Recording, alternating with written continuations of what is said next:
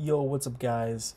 This is the chart for the British pound Japanese yen, uh, otherwise known as GJ. So, um, I'm sure you guys hopefully know how this goes by now. We look at the fundamental picture and then go into the technicals.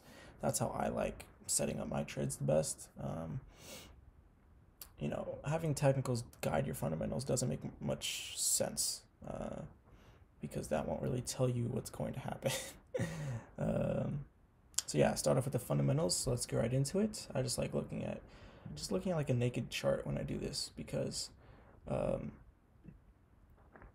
you know I, I don't really need the noise of trend lines or zones or something to sort of you know mess up my my view or sentiment. So basically, last week we had a huge pump on GJ uh, due to the coronavirus fears, and this is this was a huge move. I didn't think we would get a move like that. Like I was expecting a move down to these levels maybe, but this was just crazy.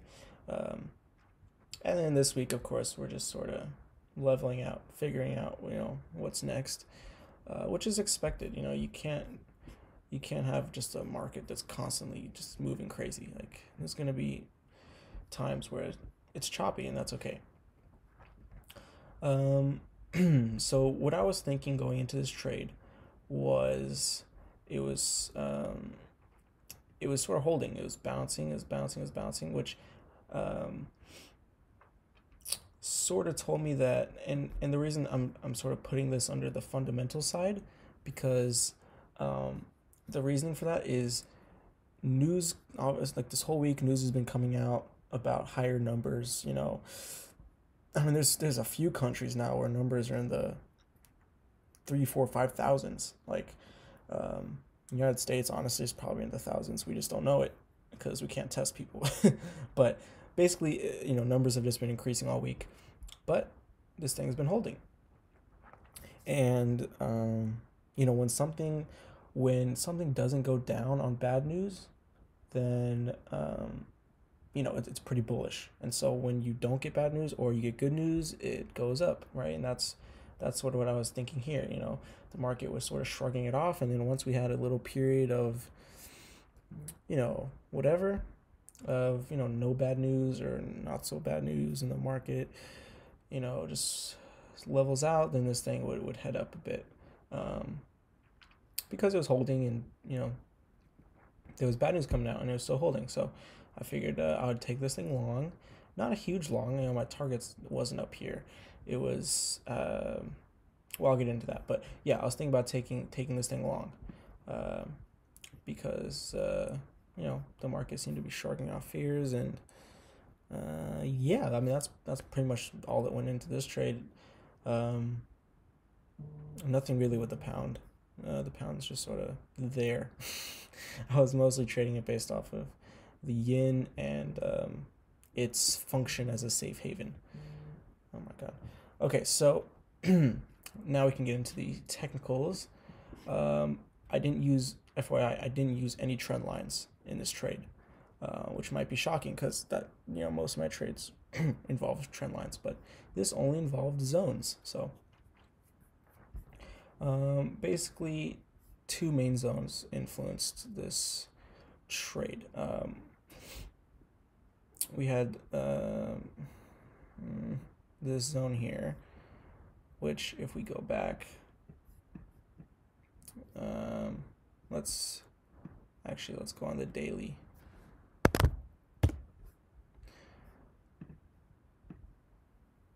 So normally I, I do a line and a, and a zone, but for the sake of finding a long long term area, I'm just going to start off with, with a line and then we can draw a low zone. Um, so as you can see right here, price rejected, right here, price rejected, right here, we could see wicks right there, price rejected, uh, right, right there, price rejected, and then acted as support. Um, so, and if we go further, further back, um, rejected, kind of rejected. And if we go further back, this is like, you know, almost a decade ago, rejected, uh, you know, uh, rejected right there. So, um, yeah, as, as you can tell, this is a very strong level uh, rejected right there. This is a very strong level uh, for price to react, and it was holding this level. And then another level was like, you know, this one, which obviously um, going back, I'm not going to go too far, but uh, you can just see this is a strong area. So um, those are the main, main uh, zones that influenced this trade.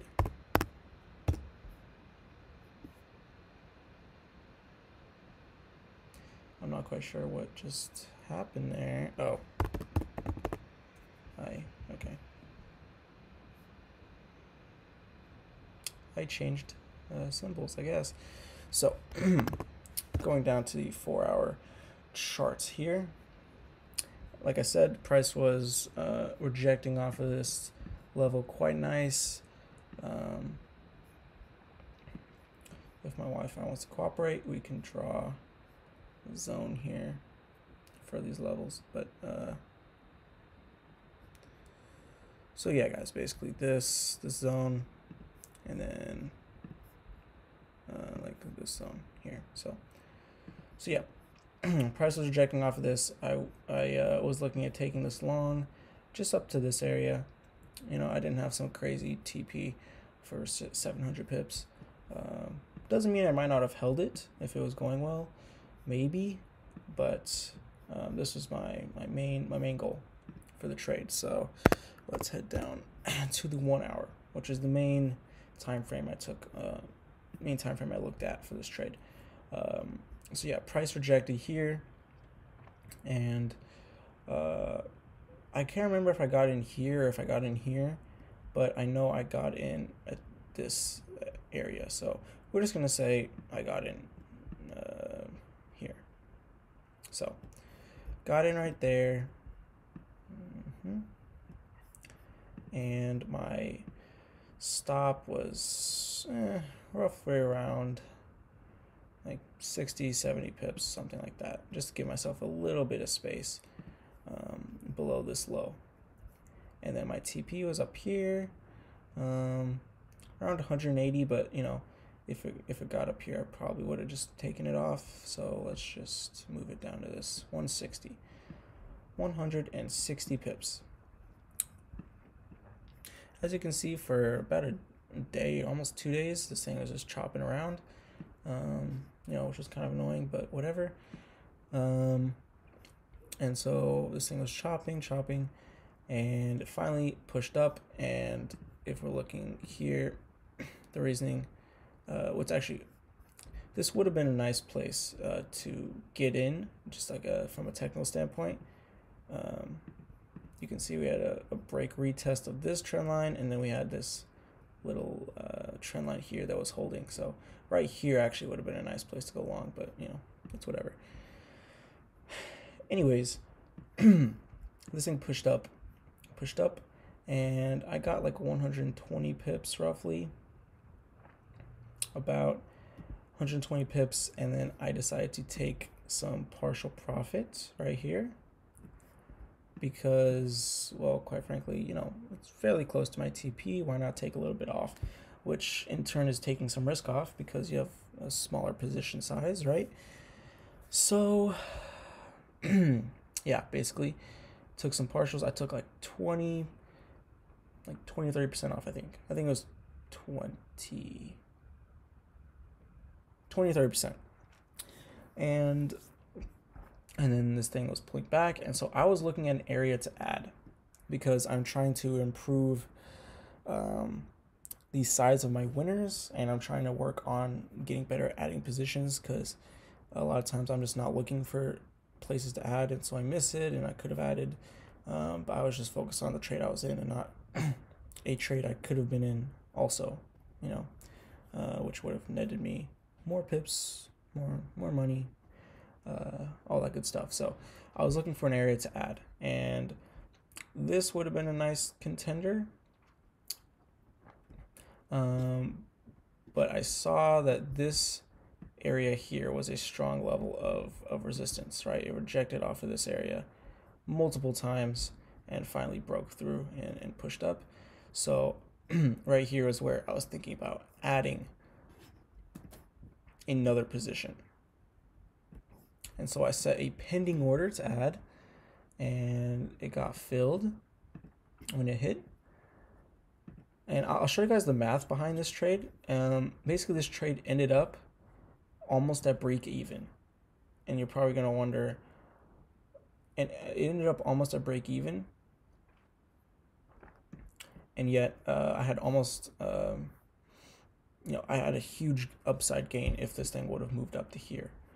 Uh, and I'll, I'll, get into the math behind that in a second. But basically, um, on top of this zone here, I drew a fib from the high that it made to this this last higher low right here. So I drew a fib like that. Um, and so, yeah, basically this sat at the, uh, like in between the 50 and the 38. You know what though? Actually, I forgot if I drew it. I might have drawn it from this bottom point here.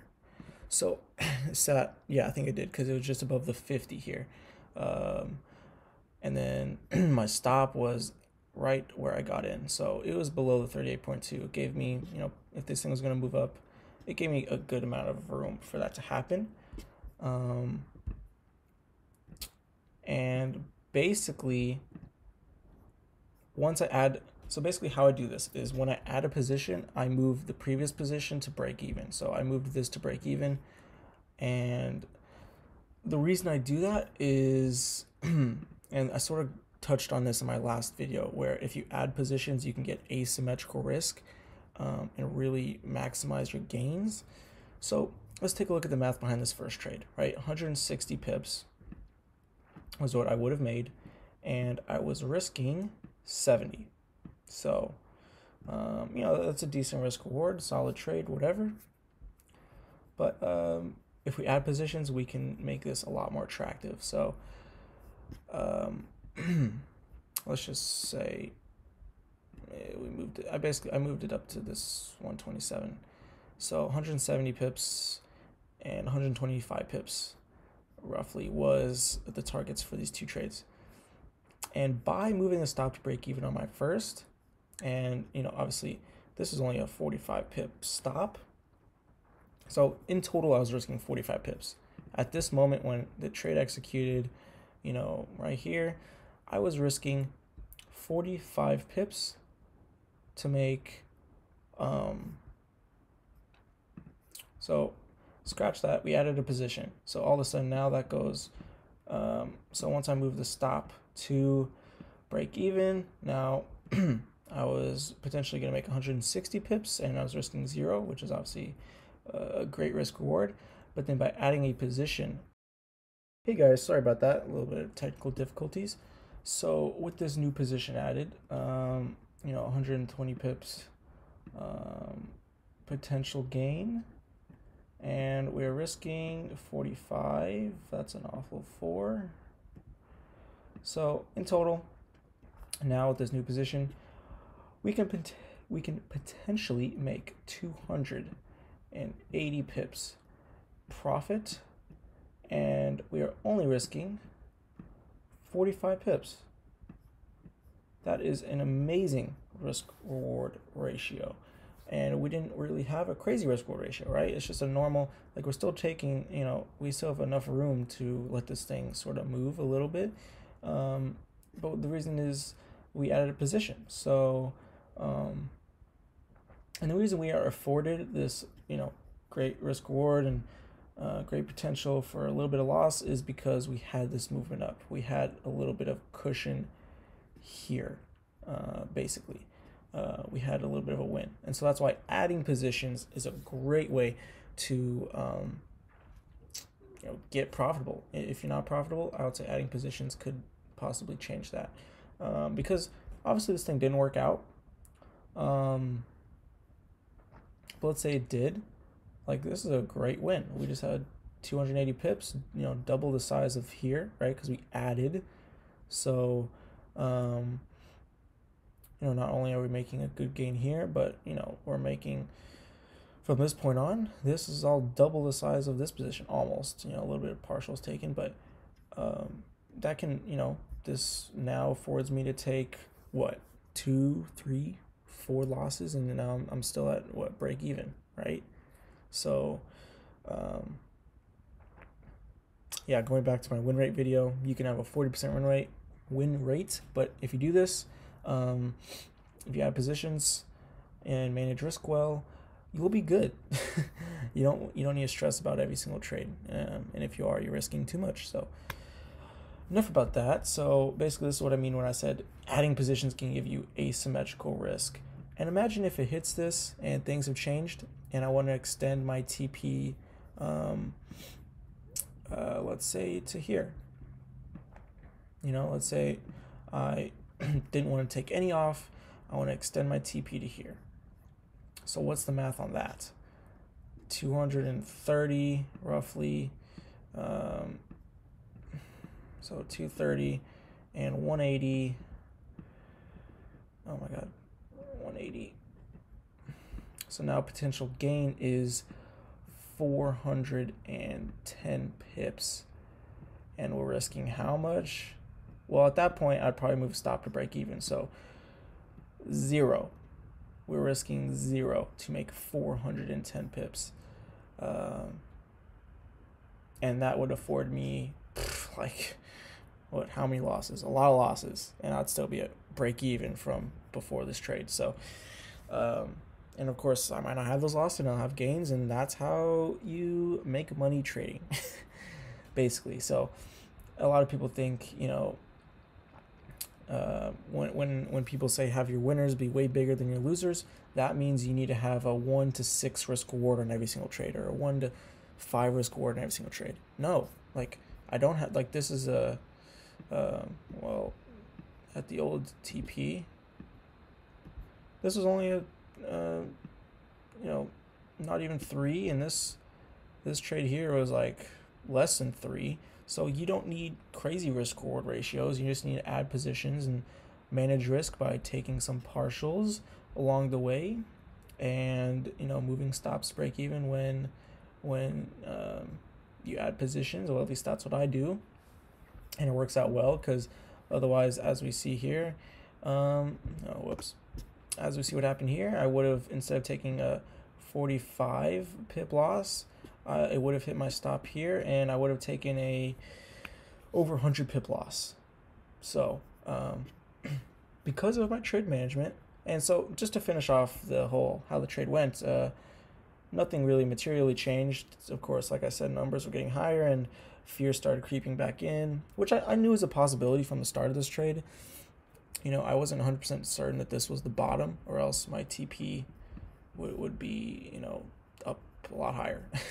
so, yeah, long story short, I uh, yeah, I wasn't trying to pick a bottom. I just I saw a good opportunity. This thing wasn't breaking. I decided to take a crack at it and uh, at a position to you know make it a good trade. Didn't work out. Fears creeped back in, made a lower low, which is fine. Um, but if you look at it, which doesn't really impact this trade at all, but I just I just want to point out there's a nice little ch- channel here. Uh, which might help you guys trade next week. I don't know. Uh, just wanted to note that I found a little channel here. Maybe you guys can use it. But yeah, guys, um, basically that's how the trade ended. It hit break even on this trade and it hit 45 pip stop on this trade. So I lost 45 pips. But because because I was uh, a little bit ta- more tactical, I took a little bit partials. Um, basically, now instead of a 45 pip loss, I was. Uh, in terms of like dollar amount, like of course it was still a 45 pip loss, but because I took some partial profits, it turned into like a 20 pip uh, loss or like 15. And what was the potential gain? Maybe, um, you know, 280 pips or 410 pips. And this was my total, you know, loss. So it's nothing crazy here, nothing you guys can't do. Like you see the math here, you see what I'm talking about. So this is how you become a profitable trader. Uh, it's not so much about strategy with the high win rate. It's not so much about I mean, it's just you know, like obviously you got to be on top of things. You got to be a decent trader. You got to understand fundamental, or at least the way I trade. You got to understand fundamentals good. You got to be good at reading that and uh, you know, good at reading technicals. Like you still have to be a good trader. I'm not saying you can be an awful trader, make a ton of money, but you don't have to be an exceptional exceptional trader to make money. And I think a lot of people are shooting for that. You know, they're like, I'm trying to get my win rate to 70, 80%. Dude, you don't need to get your win rate to 70, 80%. Focus on the math, focus on this, and you'll you'll see what you're looking for. You'll see the money. Uh, and of course, this is uncomfortable, right? Like I had a nice win. I could have just taken this win, and I would have made more money than doing all this and, and ending up with a net loss, right? But dude, like I like look at how much I could potentially make. Like this is 280 pips as opposed to the what 70 or something. 70, 80, 100.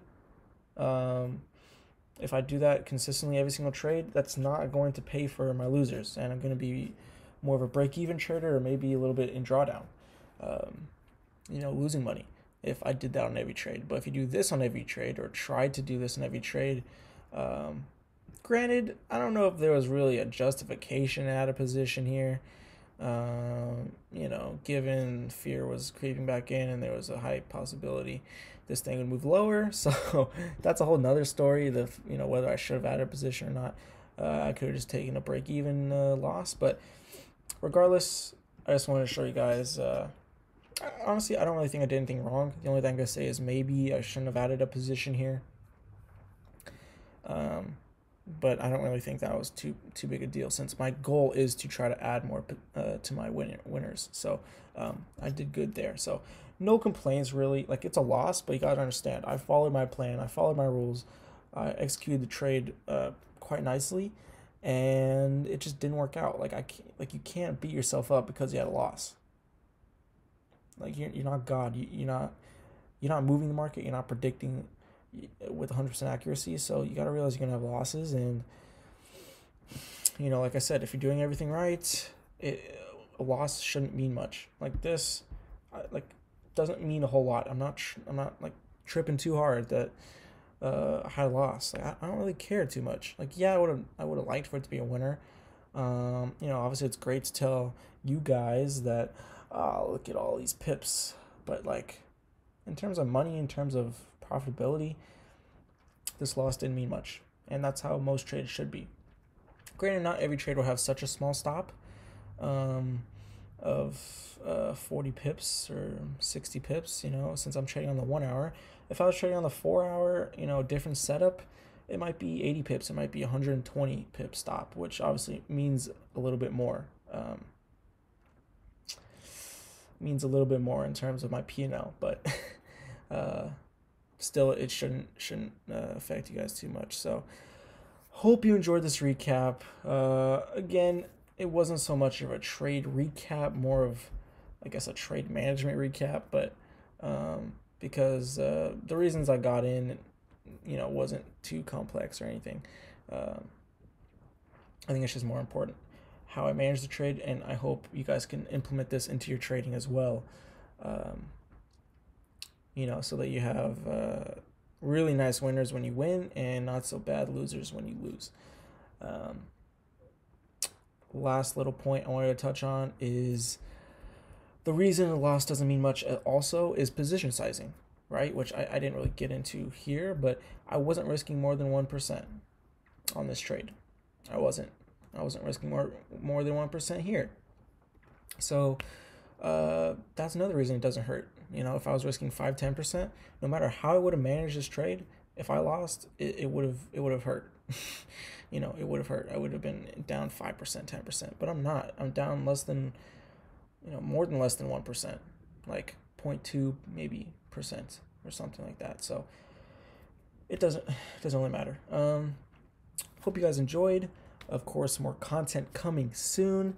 Um yeah, guys, it's Friday, so take some time to enjoy the weekend, uh, reflect, analyze.